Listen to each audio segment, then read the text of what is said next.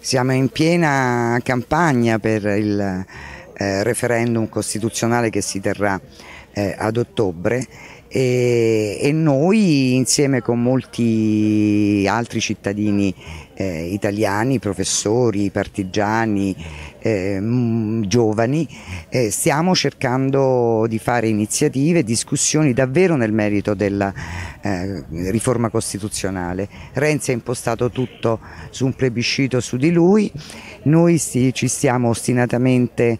eh, spendendo per spiegare perché bisogna votare no a questa riforma costituzionale, perché la riteniamo eh, lesiva dell'impianto generale del, del, sistema democratico e della Costituzione che ci hanno lasciato i nostri padri e madri costituenti, e perché rafforza fortemente tantissimo il potere del, um, dell'esecutivo e nella fattispecie del Presidente del Consiglio, eh, tanto è che è una riforma che noi riteniamo presidenziale senza dirlo perché almeno nell'elezione diretta come negli Stati Uniti del Presidente della Repubblica ci sono i contrappesi, cioè il Congresso, il Senato hanno poteri molto forti, qui in viene, viene completamente svilito il potere del Parlamento e il potere dei cittadini, da, da cittadini a sudditi potremmo, potremmo, dire. E questa riforma bisogna leggerla poi con la, la legge elettorale, cioè con l'Italicum, che nei fatti dà eh, nel, tutto il potere di nominare il, eh, i deputati alla Camera dei deputati eh, al,